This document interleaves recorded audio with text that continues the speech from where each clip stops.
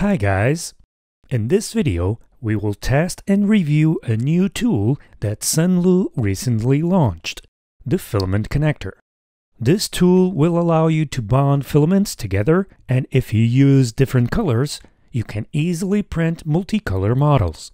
Do you want to know how this tool works and what you can do with it? Then stay tuned.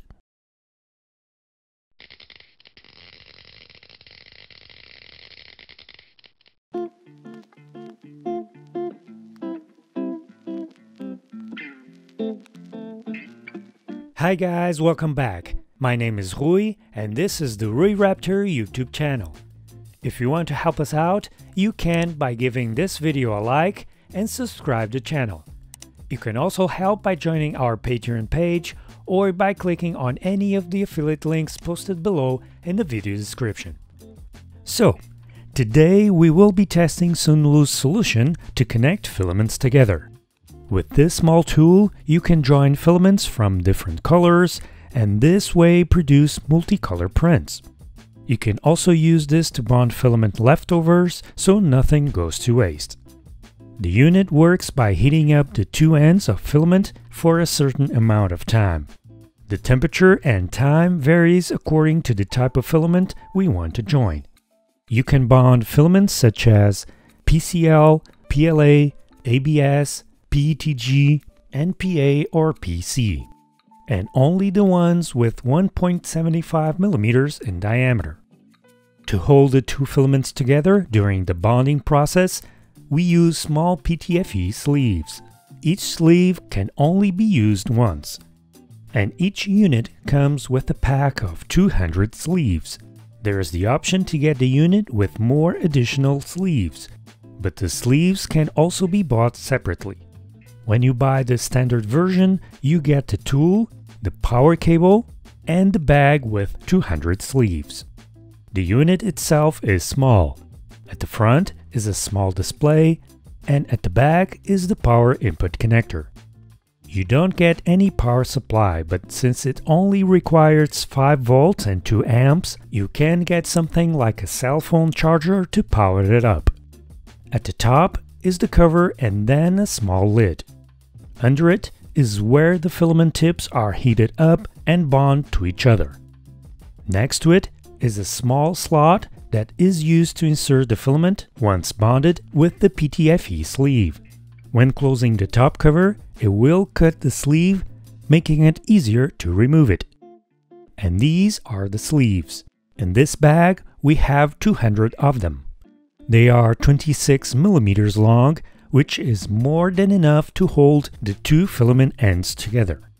So, let's connect the unit to a phone charger. The small display is touch sensitive.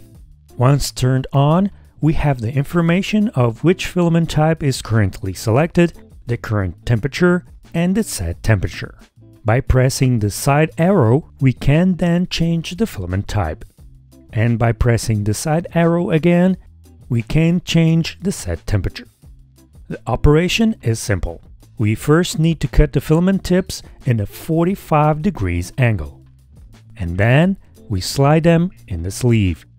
The 45 degree angle needs to match each other like this. With the set temperature reached, we place the filaments on the heating element and then close the lid. During that time, we need to hold and slightly push the filaments against each other. A counter will start as soon as you close the lid. And when the time is up, the unit will beep. The beep means that we can now take the filament out. All we need to do now is wait for it to cool down and then place it in the cutting slot. Closing the main cover will push the PTFE tube sleeve against a small blade, making a small cut on it. This cut will allow the PTFE tube to be removed easily. And it's done. The process is complete. But although the process is simple and easy to do, it does not mean that the result will be perfect every time. It took a few tries to get the result acceptable. For example, if during the bonding we push the filament too much, the result will be this excessive plastic around that the PTFE sleeve could not contain.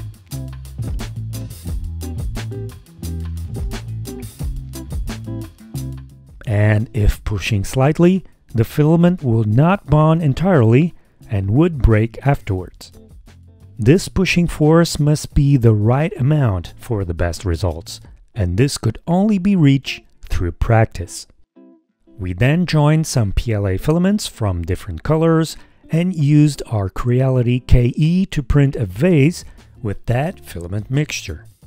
It worked very well almost throughout the entire print.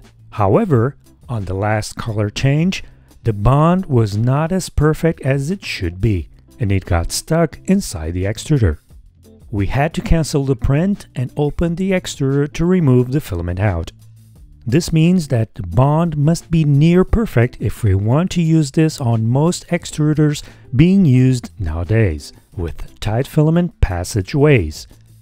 So we tried again and joined a few more filaments and printed the same vase model again. This time the vase was printed perfectly and with all the filament changes without any marks or defects on the print. When looking closely, we can see that the color change is not instantaneous. There are at least a couple of layers with color transition. Overall, this unit is great for the guys that want to produce multicolor prints or just want to join every bit of filament leftovers for maximum usage. However, since the filament will be already prepared, it's uncertain on which layer the color transition will occur. For the guys that have Bambu Lab mm-hmm. printers equipped with AMS units or any other printer with such capability, this tool is not necessary since the AMS will do all this automatically. And that's it you guys. Thanks for watching. We will see you guys next time. Bye!